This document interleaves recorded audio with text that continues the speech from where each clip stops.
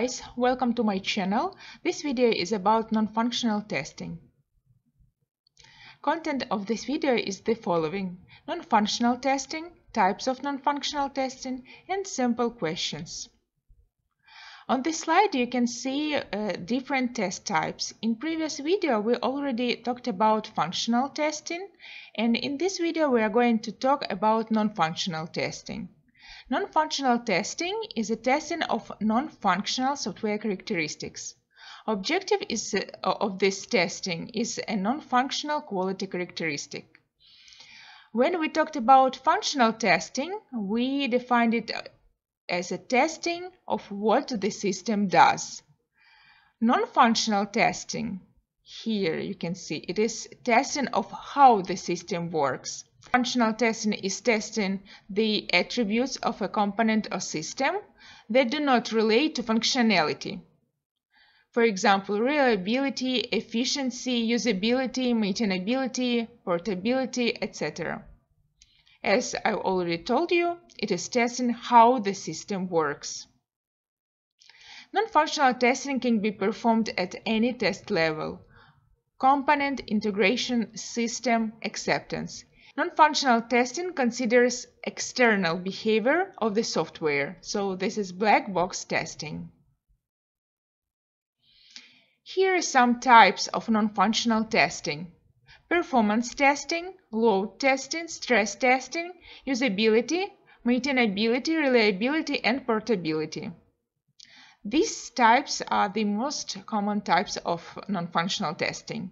Now we are going to talk about them in a more detailed way.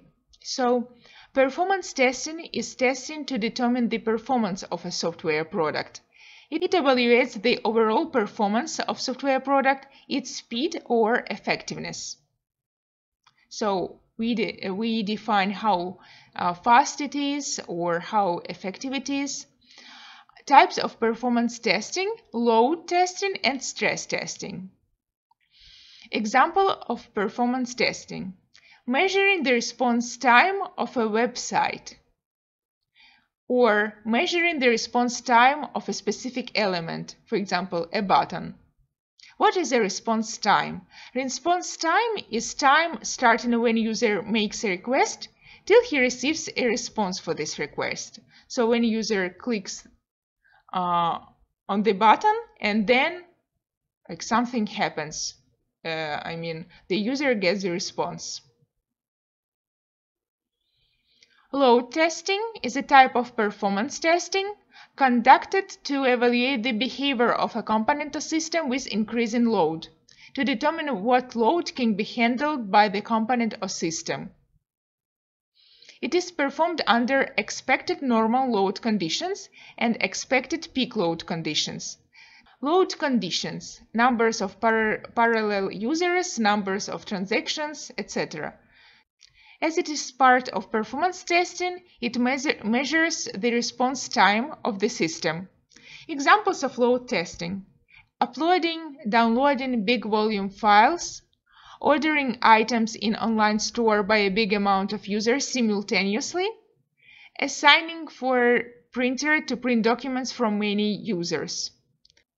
I think these are great examples to understand what is load testing. I think the emphasis on the load testing should be that it is conducted under expected normal load conditions and expected peak load condition, conditions. Because stress testing is um, different than load testing. Stress testing is a type of performance testing conducted to evaluate a system or component at or beyond the limits of its anticipated or specified workloads, or with reduced availability of resources such as access to memory or servers. So when load testing it is under normal working conditions, stress testing at or beyond the limits. Software product is observed working under extreme operational conditions or when software or hardware can, has been compromised. For example, there is no disk space or there is no memory. The next type of non-functional testing is usability testing.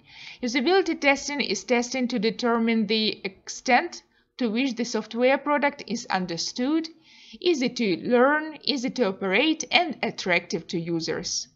So when you are doing uh, usability testing, you, sh you should think about uh, how easy it is to use for you this application, how it is attractive.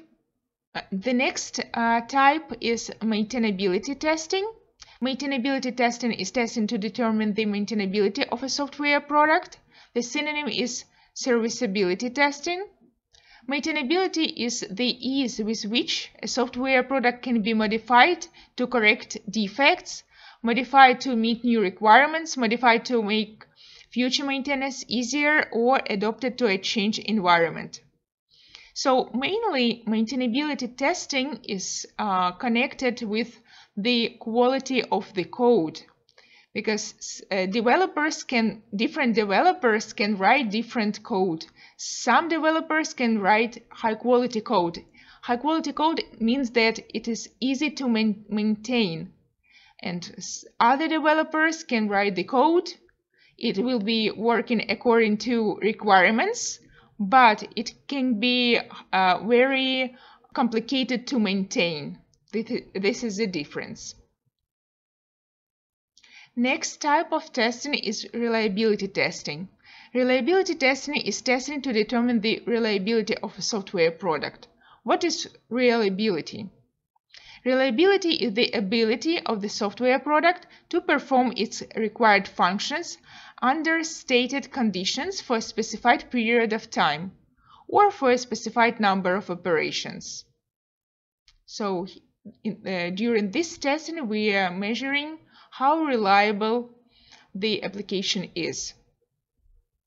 Portability testing is testing to determine the portability of a software product. The synonym is configuration testing. Portability is the ease with which the software product can be transferred from one hardware or software environment to another. Practice. Which of these are non-functional tests?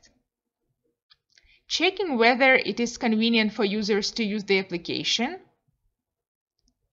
measuring the response time of a send email button, checking whether the photo was posted, checking whether the name of the button is located right in the middle of the button. So this one, the first one, it is usability testing, right? Because we are testing how easy it is to use the application. The second one, uh, measuring the response time, it is performance testing. The next one, uh, checking the photo was posted, it is actually a functional testing, right? Because we are checking function, fun functionality of the of this feature and then checking whether the name of the button is located right. This is uh, GUI testing. Also, it is non-functional testing.